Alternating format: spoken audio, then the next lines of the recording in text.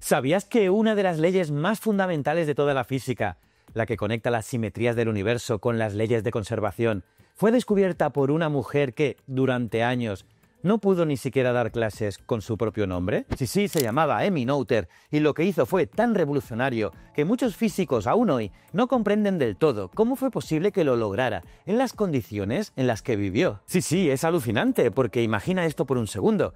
Estás diseñando una teoría sobre el universo, hablas de campos, de fuerzas, de partículas pero algo no encaja. No sabes por qué, pero cada vez que tu ecuación tiene una simetría, como que el tiempo fluye igual hacia adelante que hacia atrás, aparece casi mágicamente una ley de conservación. La energía se conserva. ¿Casualidad? Pues no, es el teorema de Noether, la llave que abre la puerta de toda la física moderna. Bienvenido al canal de Ciencias de la Ciencia. Hoy te llevaré por la vida de Emmy Noether, matemática brillante, pionera silenciada y autora de uno de los teoremas más potentes y elegantes de la historia. Descubriremos cómo en plena Alemania de principios del siglo XX, Noether transformó las matemáticas y ni siquiera le dejaron firmar con su propio nombre. Vamos a ver cómo su legado cambió la física y por qué su historia. Es también una lección de justicia histórica. Prepárate porque esta historia tiene de todo. Ciencia, genio y una buena dosis de injusticia. Soy JJ Priego y aquí siempre vemos que lo conocido es finito y lo desconocido infinito.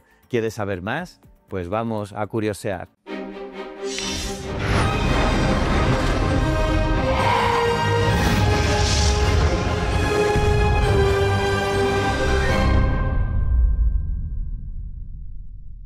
Empecemos con una pregunta inquietante. ¿Cómo puede una persona sin puesto oficial, sin salario y sin derecho a enseñar acabar influyendo en gigantes como Einstein, Hilbert o Weil? Pues empecemos por el principio, porque Emmy Noether nació en 1882 en Erlangen, en Alemania.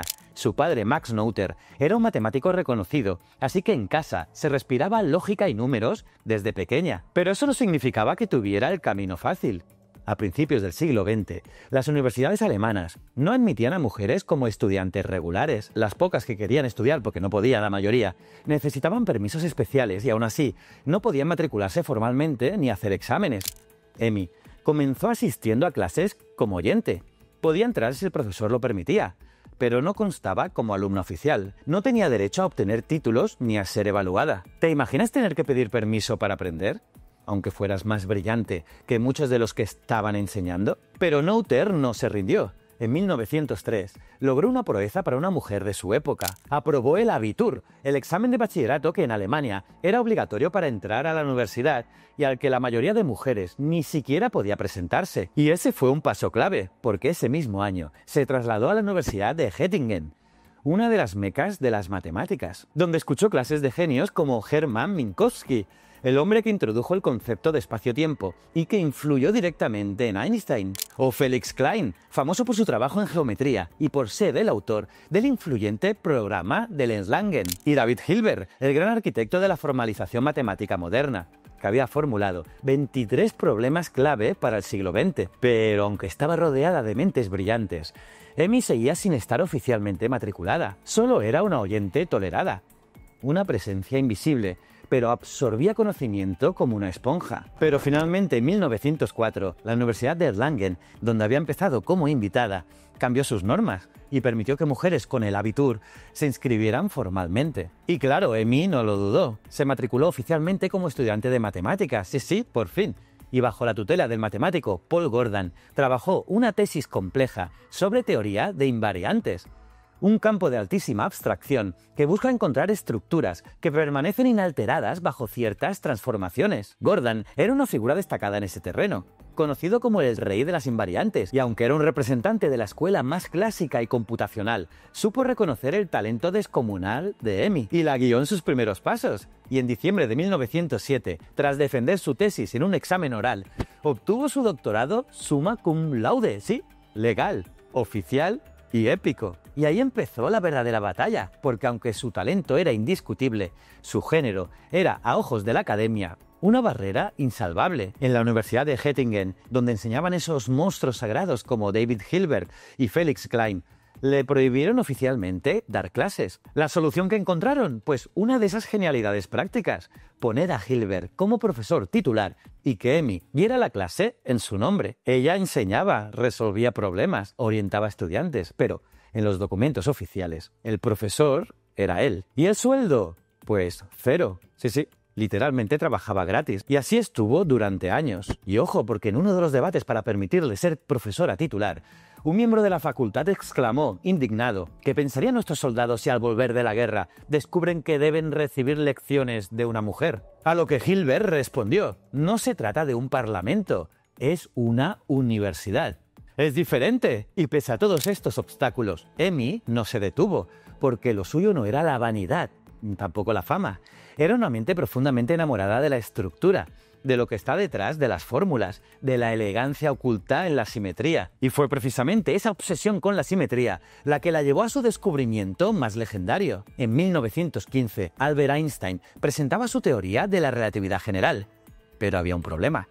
Sí, sí, un problema. Sus ecuaciones no parecían conservar la energía. Y claro, era un escándalo si la física no podía garantizar que la energía se mantuviera constante toda la ciencia se tambaleaba. Y fue entonces cuando Hilbert, ya por entonces gran admirador de Noether, recurrió a ella. Quería entender por qué las simetrías en la teoría de Einstein no producían automáticamente una ley de conservación. Y fue precisamente Emmy quien dio con la clave. En 1918 publicó un trabajo titulado Problemas de variación invariantes. Su nombre te sonará chino, pero lo que contenía era pura dinamita científica. Pero te preguntarás, ¿qué dice exactamente el teorema de Noether? Pues bien, Noether demostró con una precisión matemática asombrosa que toda simetría continua de una acción física implica una ley de conservación. Es decir, que si las leyes físicas no cambian con el tiempo, se conserva la energía. Si no cambian al movernos en el espacio, se conserva el momento lineal. Si no cambian al girar, se conserva el momento angular. Tres ejemplos, tres simetrías, tres conservaciones. Esto, que puede parecerte una regla estética, es la base de toda la física moderna, desde la mecánica cuántica hasta las teorías de partículas. Cada vez que enuncias una simetría, estás enunciando una ley. Y eso, querido espectador, se lo debemos a Emmy Noether. Piensa en ello con una analogía sencilla. Imagina que tienes una bola de cristal perfecta. Si la giras, sigue siendo igual, ¿no? Pues bien, esa simetría implica que no importa hacia dónde mire, no hay dirección preferida. Esa simetría rotacional genera automáticamente una ley, el momento angular se conserva. O imagina una película que puedes ver igual hacia adelante que hacia atrás. Esa simetría temporal, aunque hoy sabemos que no es exacta en todos los casos, está detrás de una idea intuitiva. Si las leyes no cambian con el paso del tiempo, entonces la energía no desaparece mágicamente, se transforma pero no se destruye. Y todo esto no es poesía, es el teorema de Noether. Ahora bien, ¿cómo reacciona la comunidad científica a este descubrimiento? Pues con respeto y con cierto silencio. Porque aunque sus colegas más cercanos, como Hermann Weyl o incluso el propio Einstein, reconocieron su brillantez, su nombre tardó décadas en instalarse como debería. Piensa que Einstein llegó a escribir al New York Times tras su muerte. Dijo lo siguiente, el trabajo matemático de Emmy Noether es, sin duda, el más importante jamás realizado por una mujer en matemáticas. Pero incluso así, los libros de texto hablaban del teorema de las simetrías, sin mencionar a Noether, como si hubiera salido de la nada. Y así, durante años, su trabajo circuló entre físicos y matemáticos como una herramienta útil, pero sin rostro. De hecho, en muchas universidades se enseñaba el teorema, sin contar quién lo descubrió, o aún peor, atribuyéndolo a los hombres que publicaron después basándose en él. ¿Te suena esta historia? Porque lamentablemente no es única. Pero sí es escandalosamente clara. Emmy Noether no solo fue invisibilizada por ser mujer, también fue olvidada por la historia. Durante buena parte del siglo XX, nadie, nadie, nadie la conocía, pero su influencia era tan profunda que estaba en todas partes y al mismo tiempo en ningún cartel. Y justo cuando empezaba a ganar algo de reconocimiento en los círculos académicos más avanzados, la historia volvió a golpear con brutalidad. En 1933, con la llegada de Hitler al poder, comenzó una de las épocas más oscuras de Europa. Y para Emmy Noether, que además de mujer era judía, aquello significó el fin abrupto de su vida académica en Göttingen. Sí, sí, fue expulsada de la universidad, sin explicaciones, sin defensa sin una nota de reconocimiento por décadas de trabajo brillante. Simplemente fuera. Así trataba el régimen nazi a quienes no encajaban en su esquema ideológico. Y en medio de esa tormenta, Emmy volvió a hacer lo que sabía hacer mejor, resistir con dignidad. Se exilió en Estados Unidos, donde fue acogida por el Bryn Mawr College, una institución femenina en Pensilvania, Allí pudo enseñar, por fin, con su nombre, con su nombre en la puerta del aula. Y sus estudiantes, cómo no, quedaron absolutamente fascinados por su forma de pensar. No era una profesora común,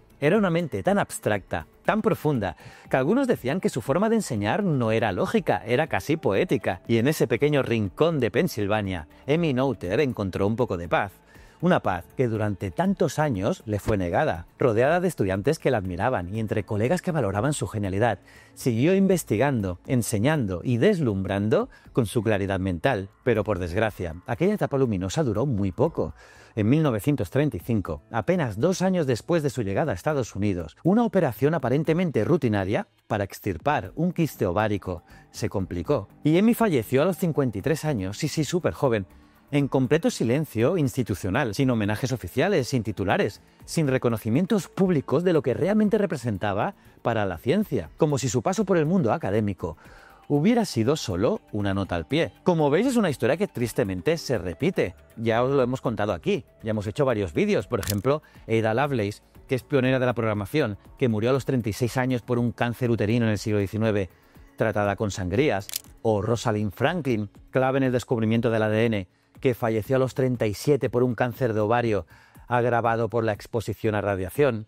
Todo esto lo hemos contado aquí. Y ahora Emmy Noether, arquitecta invisible de la física moderna, que también cayó por una enfermedad ginecológica maltratada, en una época que no entendía ni médica ni socialmente lo que estas mujeres significaban. Por cierto, como os digo, tenéis los vídeos de Ida Lovelace y Rosalind Franklin en este canal. Os animo a que los veáis. En fin, como veis, Emmy Noether murió joven, cuando su legado apenas estaba empezando a florecer porque mientras ella desaparecía físicamente, su teorema ya empezaba a brotar por todos los rincones de la física teórica, como una semilla matemática que había caído en tierra fértil, lista para transformar todo lo que tocase. Porque lo fascinante de Noether es que, aunque durante décadas su nombre fue ignorado, su teorema fue creciendo como una raíz invisible que alimentaba toda la física moderna. Porque hoy cualquier físico teórico que trabaje con simetría gauge, campos cuánticos o teorías de partículas está usando el teorema de Noether. Siempre. Y no de forma decorativa. No, no lo necesita como una herramienta fundamental, o si no, piensa en el modelo estándar de partículas, esa teoría que describe todas las fuerzas fundamentales menos la gravedad. En su base hay simetrías, simetrías locales, globales, continuas y cada una de ellas implica, gracias a Noether, una ley de conservación, conservación de carga eléctrica, conservación de número leptónico, conservación de momento y energía. Todos, todos, todos esos principios están respaldados en última instancia por su teorema. Y no solo eso, también en física moderna se exploran cosas como simetrías rotas, simetrías emergentes, dualidades, conceptos que nacen de pensar el universo en términos de simetría. Es como si todo en la física fuera una gran partitura y Emmy Noether hubiera escrito la clave musical que permite leerla. Y menos mal que a partir de los años 70 y 80, con el auge de los estudios de género en ciencia y la reevaluación histórica de las grandes figuras, comenzó un redescubrimiento y su teorema empezó a ocupar el lugar que merecía en los cursos de física teórica. Su nombre apareció en placas, en premios, en biografías. Y actualmente el Notre Day se celebra en varias universidades, e incluso la Sociedad Matemática Americana creó el premio Noether para reconocer a mujeres matemáticas destacadas. Y lo más importante, se ha convertido en símbolo, en referente, en inspiración para generaciones enteras de científicas que como ella, tuvieron que luchar para que su voz fuera escuchada. E incluso en 2019, Chris Quick publicó un artículo titulado Un siglo del teorema de Noether, donde repasa cómo desde relatividad general hasta física cuántica de campos, pasando por las teorías más modernas de cuerdas y gravedad cuántica, todo lo que tenga simetrías pasa directa o indirectamente por Emmy Noether e incluso conceptos más recientes, como los sistemas fuera del equilibrio en física estadística, están explorando nuevas formas de aplicar su teorema o extenderlo. Y también la filosofía de la ciencia ha vuelto a ella. Preguntas como ¿qué hace una ley de la naturaleza ser tal? ¿O podemos deducir leyes físicas de principios de simetría? Todo esto es parte del debate actual, y todos citan a Emmy. Así que sí, su teorema no es solo parte de la historia, es parte del presente y también del futuro. Y ahora, quiero hacerte una pregunta. ¿Te imaginas cuántas otras Emmy Noether habrá habido y no lo sabemos? ¿Cuántas mujeres en la historia de la ciencia no fueron siquiera invitadas a participar? ¿Cuántos descubrimientos atribuimos a otros porque ella no pudo firmar su propio artículo? Eso es lo que hace que esta historia sea tan potente. No es solo una historia de genialidad matemática, es una historia humana, de persistencia, de injusticia y de redención. Emmy Noether no buscaba reconocimiento, no, no, buscaba verdad. Y sin embargo, 100 años después, lo mínimo que podemos hacer es poner su nombre, donde siempre debió estar. Y ahora quiero saber tu opinión. ¿Conocías esta historia? ¿Te sorprende lo actual que sigue siendo su legado? ¿Deberíamos hablar más de figuras como Emmy Noether? Déjame tu comentario aquí abajo, suscríbete al canal, dale un buen like a este vídeo si te ha gustado, que es gratis y me ayuda muchísimo. Y comparte este vídeo si te ha parecido tan fascinante como a mí, aquí en Ciencias de la Ciencia te seguiremos trayendo más historias increíbles de personas que cambiaron el mundo con su curiosidad. Y si te quedas con ganas de más, más ciencia y también más historia, pásate por mi Instagram, jjpriegotv, porque allí cuelgo más contenidos que seguro que te van a molar. Y recuerda, el conocimiento es un requisito esencial para la supervivencia. Nos vemos en el próximo vídeo. Muchísimas gracias.